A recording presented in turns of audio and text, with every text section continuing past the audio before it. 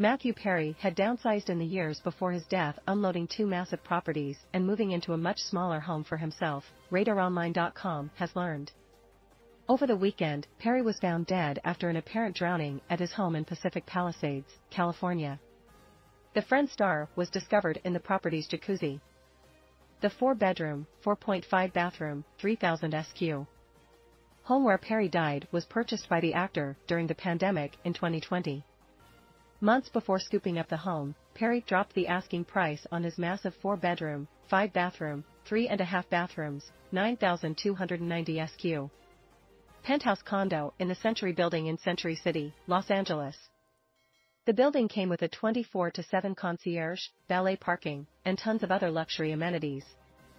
Perry had listed the home for $35 million in 2019 but dropped it down to $27 million. The pad eventually sold for $21 million in June 2021. In addition to the penthouse, Perry owned a four-bedroom, 3.5 bathroom, 5,500 SQ FT beachfront property in Malibu.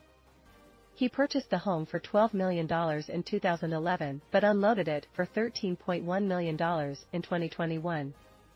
At the time of his death, it is believed the only home that Perry owned in Los Angeles was the property in Pacific Palisades.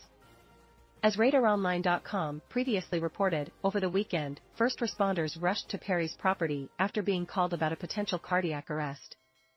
Law enforcement sources said they did not find any illicit drugs at the scene, but Perry had multiple prescription bottles. Perry had prescriptions for depression and anxiety. In addition, police found a drug that is used for chronic obstructive pulmonary disease.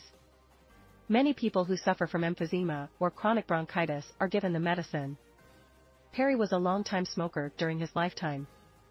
The Los Angeles County Medical Examiner's officer completed an autopsy of Perry but deferred the cause of death.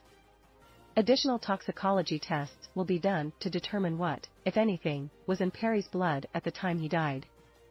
We are heartbroken by the tragic loss of our beloved son and brother. Matthew brought so much joy to the world, both as an actor and a friend. You all meant so much to him and we appreciate the tremendous outpouring of love, the actor's family said in a statement.